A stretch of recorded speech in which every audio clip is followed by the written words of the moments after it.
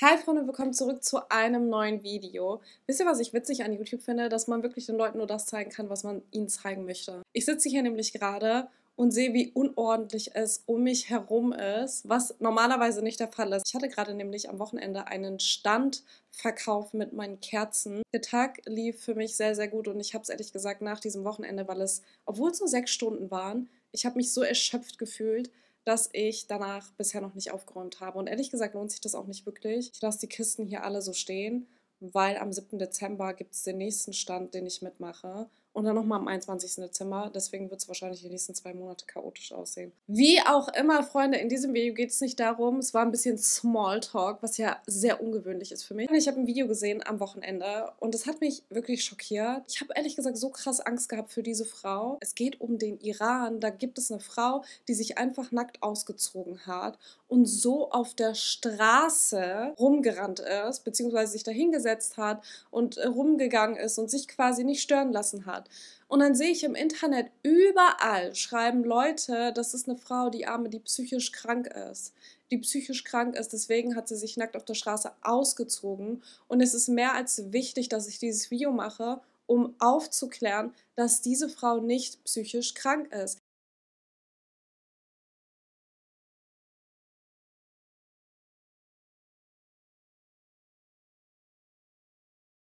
Ich glaube, die meisten haben bisher immer noch nicht mitbekommen, was eigentlich im Iran los war oder immer noch ist. Ich habe vor fast zwei Jahren ein Video zu Massa Amini gemacht und das hat ja die Welle losgetreten, weshalb es eine Revolution im Iran gab, wo Frauen ihre Kopftücher verbrannt haben. Im Iran gibt es eine Kleiderverordnung, wie Frauen sich kleiden müssen.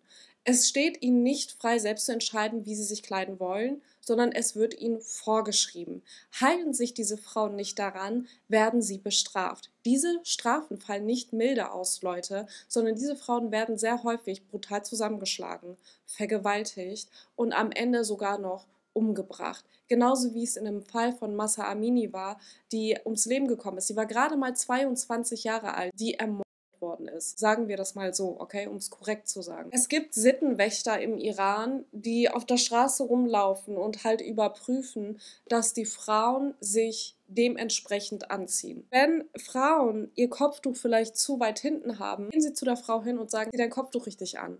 Oder sei es, eine Frau äh, läuft mit Spaghetti-Trägertop rum. Dies wird nicht nur ermahnt, sondern ehrlich gesagt auch bestraft. Und im Iran ist es nun so, dass es landesweit Frauen gibt, vor allem junge Frauen, die immer wieder diese Vorschriften bewusst ignorieren um eben dagegen zu protestieren. Nur weil es damals einen riesen, äh, diese riesen Aufruhr im Internet gegeben hat und jetzt nicht mehr oder so ruhig geworden ist, das heißt nicht, dass das Thema immer noch nicht aktuell ist, sondern Frauen im Iran kämpfen immer noch für ihre Rechte, eben frei bestimmend leben zu können.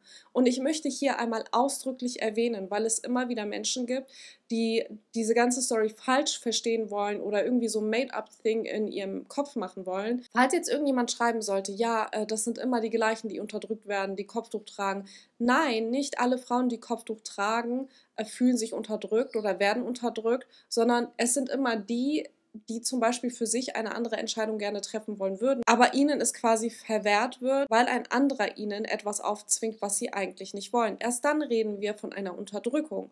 Okay, wenn es Frauen gibt, die kein Kopftuch tragen möchten, aber sie müssen es tun, dann werden diese Frauen ganz klar unterdrückt, weil sie nicht frei bestimmt leben können. Genauso wie zum Beispiel als Beispiel in Frankreich, wenn eine Frau komplett verschleiert äh, rumlaufen will diese es aber vom Gesetz nicht darf, wenn Frauen ihre Religion nicht selbstbestimmt ausleben dürfen und ihr Kopftuch oder ihr Schleier oder was auch immer tragen wollen, dann werden diese genauso unterdrückt. Okay, ich möchte das hier einmal erwähnen und das ist ganz wichtig, dass Leute das verstehen, weil es immer so oft zu Missverständnissen führt. Wenn ihr das nicht verstanden haben solltet, schreibt gerne in den Kommentaren, dass ich das nicht äh, genügend oder ausreichend erklärt habe oder wiederholt einfach nochmal die Spur, was ich eben gesagt habe. Bisher war nur im Iran bekannt, dass Frauen sich die ähm, Kopftücher vom Leib gerissen haben, also vom Kopf gerissen haben, aber bisher war gar kein einziger Fall bekannt, wo eine Frau einfach halbnackt auf der Straße zu sehen ist als ich dieses Video gesehen habe, wie ich eben schon gesagt habe, ich hatte wirklich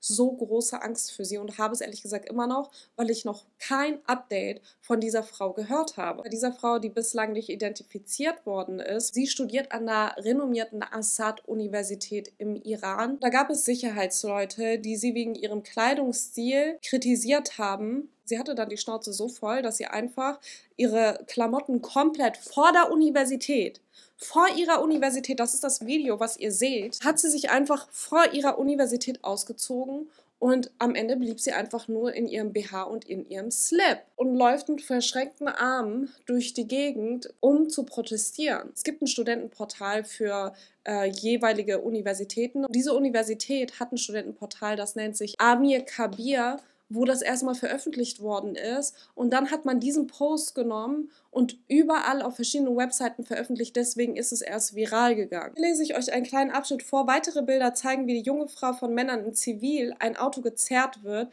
Nach Angaben von Amir Kabir wurde die Studentin, deren Identität nicht preisgegeben. Und sie wurde bei der Festnahme geschlagen. Laut einem iranischen Studierendenverband soll die Frau in eine psychiatrische Klinik eingewiesen worden sein. Als sie Amnesty International von diesem Video mitbekommen hat, falls ihr nicht wisst, wer oder was die Amnesty International ist, sie setzen sich ganz speziell für Menschenrechte ein. Es ist einfach eine Menschenrechtsorganisation und sie finanzieren sich hauptsächlich von Spenden. Die Amnesty International forderte auf X, die Behörden müsste die junge Frau sofort und bedingungslos freilassen.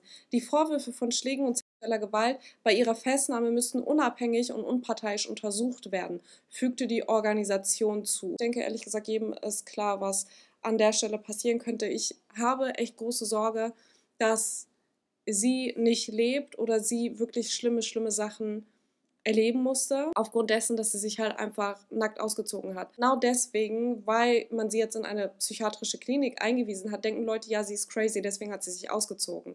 Nein, Freunde, eigentlich möchte sie einfach nur frei bestimmend leben. Nur deswegen wurde sie in eine psychiatrische Klinik eingewiesen. Diese Frau ist nicht verrückt. Das ist nicht der einzige Kommentar, den ich lese. Ich lese auch nur Kommentare, ja, wie kann man das nur als Frau tun, sich da nackt ausziehen und bla bla bla. Wenn ich sowas lese, macht mich das wirklich wütend. Ihr habt gar keine Ahnung, wie viel Mut dazu gehört, so einen Schritt zu wagen. Das, was sie tut, ist unfassbar mutig. Solche Frauen, die sich dafür einsetzen, dass sie endlich so leben dürfen, wie sie wollen und nicht, wie es ihnen vorgeschrieben wird. Auch wenn einige sagen, warum macht man denn sowas, da wird man doch jetzt nichts ändern. Du wirst vielleicht in dieser Generation nichts ändern können, richtig, aber vielleicht für die übernächste Generation wirst du versuchen, den Weg für deine Enkelkinder leichter zu machen. Und es muss irgendwo anfangen. Es muss irgendwo anfangen, leider. Der Iran war nicht immer so, liebe Freunde. Ich habe dazu mal ein Video gemacht in meiner Vergangenheit. Schaut euch das gerne an. Das ist fast zwei Jahre alt wenn ihr ein bisschen mehr darüber erfahren wollt.